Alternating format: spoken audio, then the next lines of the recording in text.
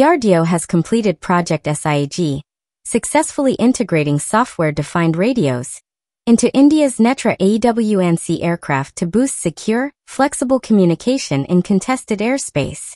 Conducted by Center for Airborne Systems Bengaluru, the project finalized in August 2023 after over 50 flight trials, achieving 98% success. The software-defined radio upgrade enables jam-resistant, multiband, and encrypted links with other IAF assets. With fleet-wide rollout approved, SIAG strengthens NETRA's role in India's integrated air defense and future AWNC systems. इसका मतलब ये है कि Netra mark two already develop कर लिया Global engine giant Cummins aims to locally produce its 760 horsepower VTA 903 ET760 engine for DRDO's Zorawar light tank already powering the prototype unveiled on Republic Day 2025. Meanwhile, CVRD and Ashok Leyland are developing an 800 horsepower indigenous engine to replace foreign systems, with trials set for 2026. The Zorawar, a 25-ton high-altitude light tank, symbolizes India's push for self-reliance, as both companies vie to fuel its future under the Atmanirbhar Bharat initiative.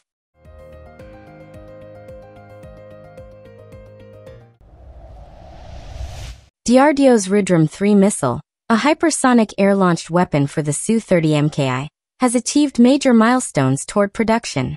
Designed for suppression of enemy air defenses, it targets radars, bunkers, and command centers using a solid fuel ramjet and passive seeker, reaching speeds over Mach 5.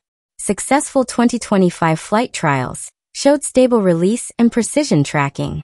With production expected by 2026 and 200 plus units planned, it strengthens India's self-reliant air warfare capabilities.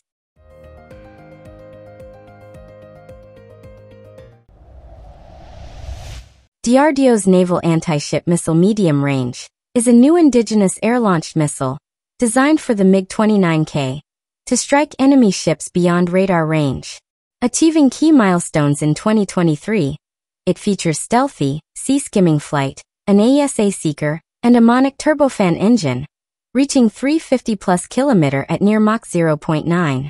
Approved for trials in 2025, the missile will replace older KH-35 systems, with 200 to 300 units planned by 2027, strengthening India's naval strike capabilities.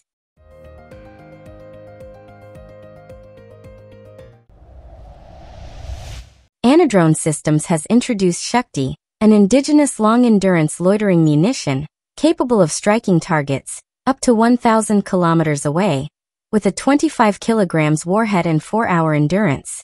Designed for precision, affordability, and mass deployment, Shakti bridges the gap between drones and cruise missiles. Featuring electro-optical infrared targeting, GPS or INS guidance, and swarm capability, it supports both offensive and defensive missions. Backed by the iDEX program, trials begin in 2026, boosting India's Atmanirbhar Bharat defense goals.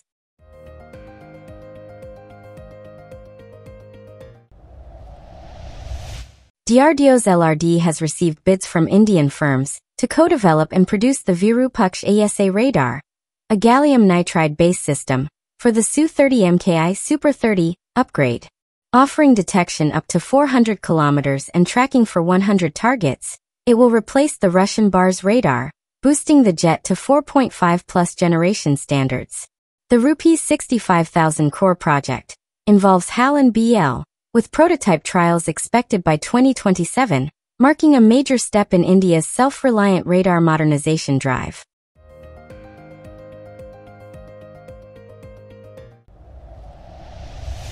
India and Russia are discussing the joint construction of ice-class cargo ships to boost trade through the Northern Sea route, the shortest link between Europe and Asia. The plan, part of an intergovernmental working group, includes cooperation on crew training and Arctic infrastructure.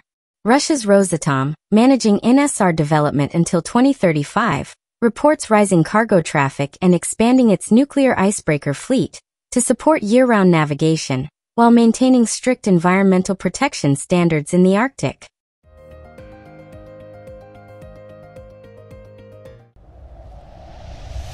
Hacker group Black Mirror leaked Russian documents revealing severe technical failures in the Zhuk-ME radar systems used in India's MiG-29K naval fighters.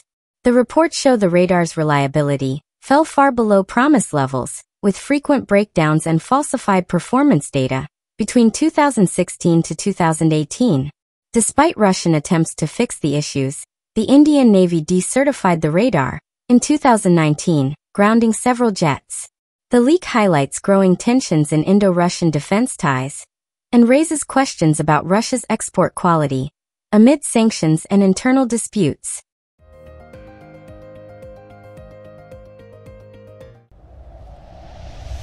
India's Aeronautical Development Agency has issued an RFP for Indian companies to design and build advanced Iron Bird test facilities for the AMCA's fly-by-wire control system.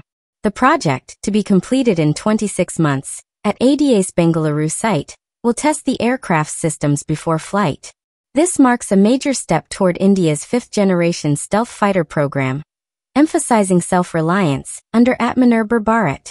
The AMCA prototype is expected by 2028 to 29, with HAL, L&T, and private firms like Tata and Adani vying for key roles in the rupees 15,000 crore project.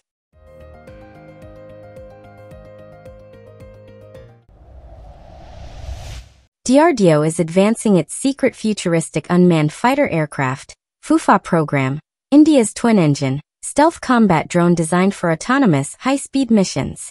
In 2023, DRDO finalized the design, completed the preliminary design review, and began aerodynamic testing using wind tunnel models. The tailless stealthy FUFA will feature internal weapons bays, AI-driven autonomy, and a possible Kaveri-based engine for supersonic speed. With private industry partnerships, over 80% indigenous content, and integration potential with man jets, FUFA aims to revolutionize India's air power, alongside the Ghatak UCAV.